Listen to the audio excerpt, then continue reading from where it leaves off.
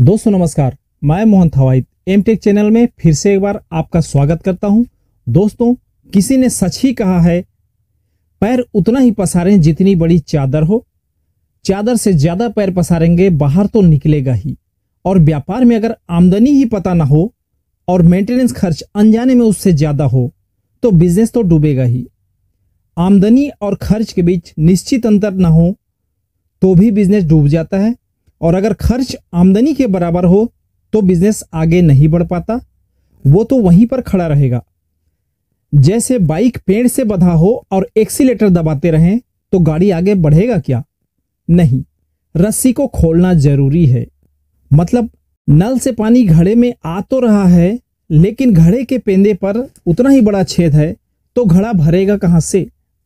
इसलिए बिज़नेस में तरक्की करना है तो अपनी आमदनी के बारे में जानना बहुत ज़रूरी है। अक्सर एक दुकानदार अपने आप से और अपने शॉप से इस सवाल का जवाब जानने की कोशिश ज़रूर करता है कि आखिर मैं कमाता कितना हूँ? मेरी आमदनी क्या है? महीने में क्या इनकम है मेरा? और कुछ लोग अर्जुन की तरह केवल मछली की आँख को देखने में सफल हो जाते हैं, बिज़नेस की आमदनी को जानने में सफल हो जाते हैं।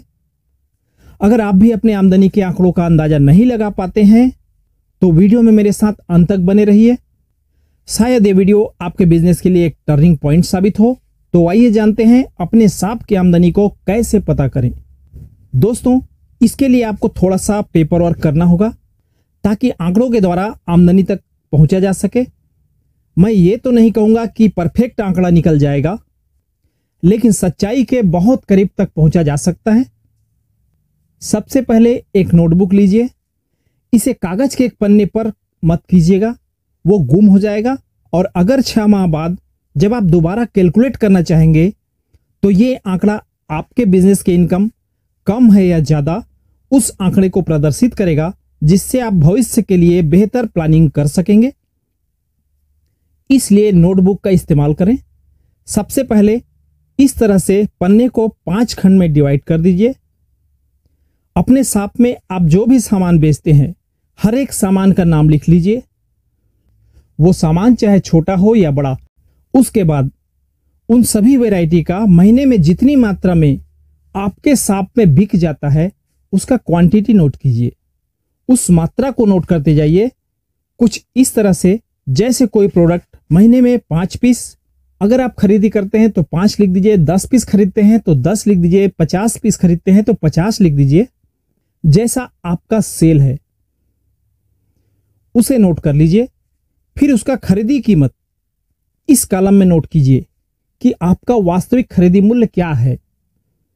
और उसके बगल में बिक्री कीमत नोट कीजिए कि आप उसे कितने में बेचते हैं, वो नोट कर लीजिए। और उसके बाद उस प्रोडक्ट में आपका मार्जिन कितना बचता है, उसे नोट कर लीजिए यहाँ पर। अब इन आंकड़ों को टोटल कीजिए। अब आप यहाँ सभी आंकड़ों को अलग अलग कैलकुलेट कर लीजिए। और आपके खरीदी कास्ट में, बिक्री वाले कीमत में खरीदी वाले कीमत को घटा दीजिए। और जो पैसा बचेगा, वो आपके एक माह का इनकम होगा।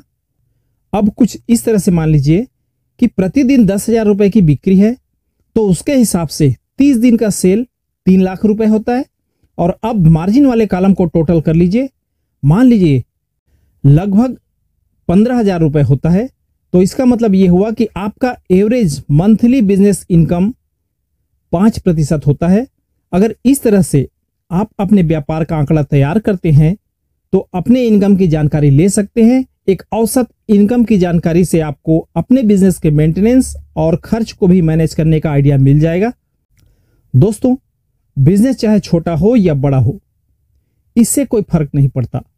फ़र्क इस बात से पड़ता है कि आपके बिज़नेस को आपका खर्च कहीं दिमाग की तरह खोखला न कर दे, या कहीं आपका बिज़नेस बीमार और कमज़ोर होकर टूट ना जाए, बिखर न जाए। बल्कि स्वस्थ हो, तंदुरुस्त हो और हेल्दी हो। मैं आपसे एक सवाल करना चाहता हूँ कि क्या आपका बिज़नेस आपके कंट्रोल में रहता है? क्या आपका बिज़नेस स्वस्थ और हेल्दी है? अगर आप मानते हैं कि आपका बिज़नेस स्वस्थ है तो आपको बहुत बहुत बधाई। लेकिन अगर आप मानते हैं कि आपका बिज़नेस वैसा नहीं है, जैसा होना चाहिए तो कमेंट बॉक्स में अपना विचार ज़रूर लिखें, ताकि बिज़नेस को अपने कंट्रोल में रखने और बिज़नेस को स्वस्थ बनाए रखने के लिए क्या करें, इस पर एक वीडियो ज़रूर बनाऊँ, जो आपके बिज़नेस के लिए फ़ायदेमंद हो। और हाँ एक लाइक अवश्य कर दीजिएगा। चैनल पर पहली बार आए हो तो सब्सक्राइब ज़रूर कर लीजिए। ऐसे ही यूजफुल वीडियो के लिए और साथ ही नोटिफिकेशन की घंटी को ज़रूर दबा दीजिएगा। जय हिंद, वंदे मातरम।